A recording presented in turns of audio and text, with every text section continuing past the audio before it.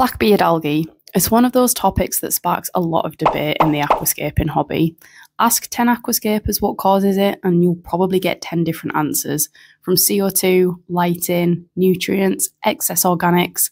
But after a few years in the hobby and now working with aquariums pretty much every day, I've personally found that this is almost always linked to one thing flow.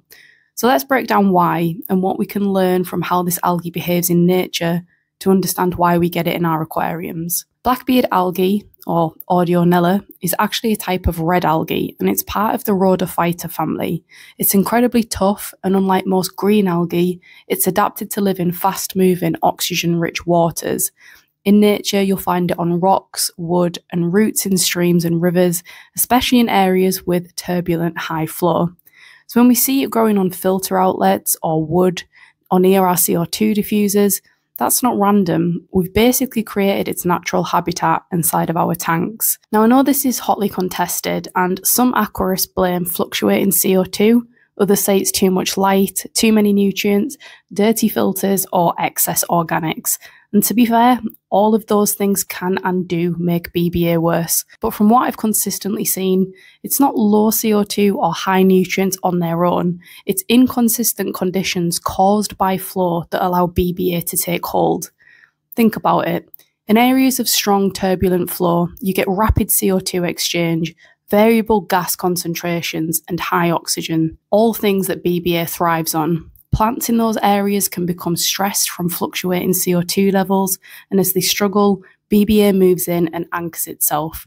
That's why it often appears in high flow zones, not because the flow causes it directly, but because the flow creates unstable microenvironments that plants can't compete in. If we look at where BBA grows in nature, it's usually in clear, oxygenated streams with constant movement and plenty of turbulence. It attaches to stable surfaces that don't move, things like rock faces or submerged wood, where it can hold on against the current.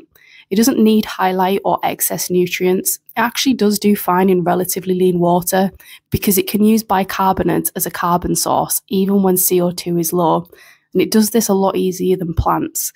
In short, it's built for survival in high energy, variable environments, exactly what we often create around our filters, diffusers, and spray bars.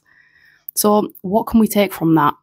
First, focus on flow balance, not just flow strength. You want CO2 and nutrients moving evenly throughout the tank, not blasting one side whilst leaving dead spots on the other.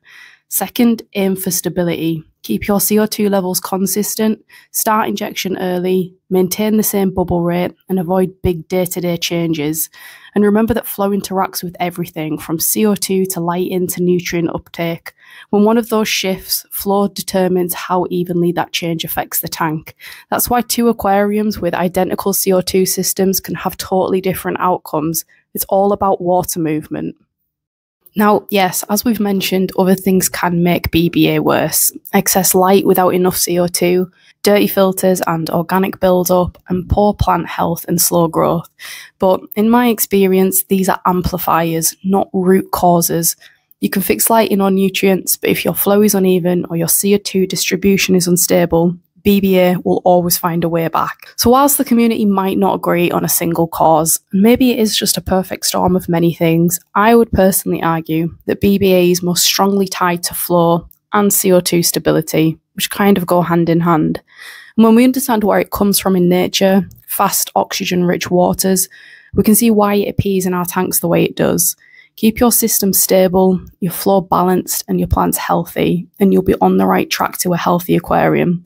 But above all, remember no tank is perfect, and some algae is perfectly natural. Don't hyper focus on it so much that you start not to enjoy it.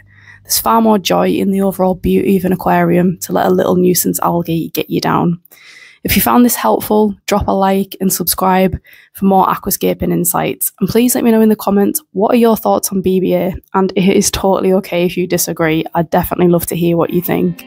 Thanks so much for watching, and I'll see you on the next one.